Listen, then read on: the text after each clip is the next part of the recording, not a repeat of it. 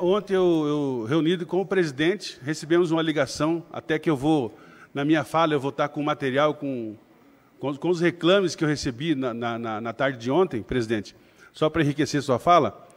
A, a, energia, a Sanesul ontem, a Sanesul, a Sanesul ontem, entrou em contato com a gente, pedindo socorro em relação à Energisa. Só para vocês terem uma ideia, a Sanesul está com fornecimento de energia com problema. O, qual que é o problema? Em todas as bombas, está chegando para mim daqui a pouquinho aqui os reclames que já foram feitos. Hoje, se vocês acompanharem a imprensa, tinha um prato daqui, pode confirmar isso para a gente. A Sanesul informou hoje falta de água em alguns lugares. Você sabe por quê? Por conta da Energisa.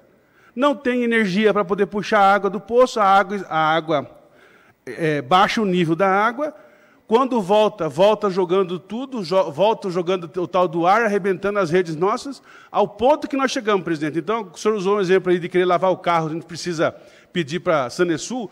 Não espante não isso acontecer, porque esse lixo da Sanesul, que é um lixo, um lixo, falar para a gente da, da Energisa, esse lixo da Energisa, dizer para a gente que não está preocupado com a questão estética, é porque é bem a cara deles, uns relaxados, uns sem compromisso, umas pessoas que não têm compromisso com a cidade de Ponta Porã.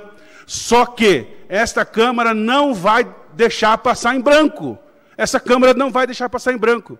Vamos atuar no código de postura do município. O poste é deles, eles cobram para poder colocar é, aquele fio ali, eles são responsáveis. Se ele não se importa com a questão estética da cidade, nós se importamos.